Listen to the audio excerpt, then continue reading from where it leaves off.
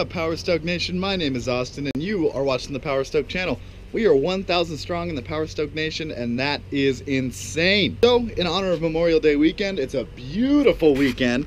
Sun is shining, blue sky everywhere. I mean, a little, little haze over there, but not bad. We got both the beautiful rigs here, the Tahoe, the Ford. What better way to celebrate Memorial Day and all the good holidays that are very patriotic coming up mounting an American flag into the bed of the truck. Pardon the mess. It's some stuff from work, some chains, that kind of stuff. So I'm gonna show you guys how to do this. I actually did all of this for $35, including the flag. So super cheap. Anybody can have a flag on their truck for under 50 bucks, and that's what I wanted to prove. I just went to a big box store, bought some ABS black pipe, some mounting brackets that have a little bolt in them so that way you can tighten these down around the pole. And then I'm also gonna tap a screw through the face here. And obviously this little metal bracket, I'm thinking about mounting here so that way it clears the bed rail and clears everything. So I'm gonna get these cut to length and then I'm gonna paint all this black because it's got the writing on it for the ABS plastic and everything. Um, pretty easy though. I mean, this is a really simple job. All I'm using is a handsaw to cut this to length. I'll show you guys that. All I'm doing is holding it to the bed rail, finding the height that I want, marking it, and cutting it. It's super, super easy, and I'm pretty excited to see how it turns out. All right, so all I'm doing is setting it here, like I said, taking the saw, going even with the bed, and marking it. So as you can see, there's a little mark there. That's what I'm going to cut straight down. And then I'll paint this black, mount it into the bed, and we'll see how this looks.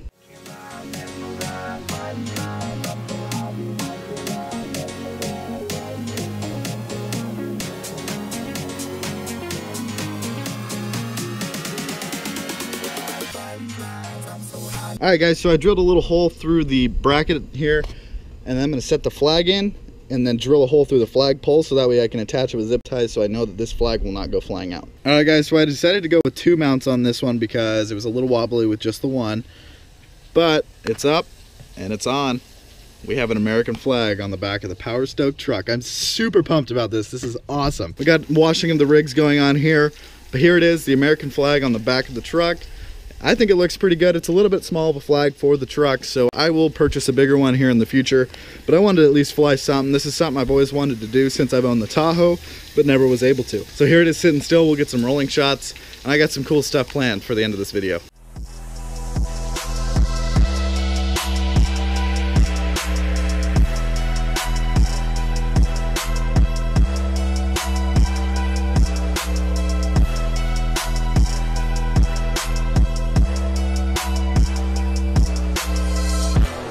All right you guys thank you so much for watching. I hope you had an amazing memorial day. Mine was great.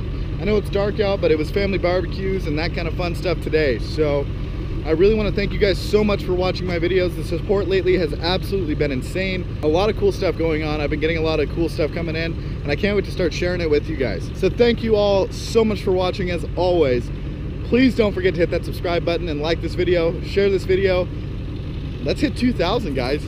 I think that's the next goal so thank you guys so much for watching, and I'll see you in the next video.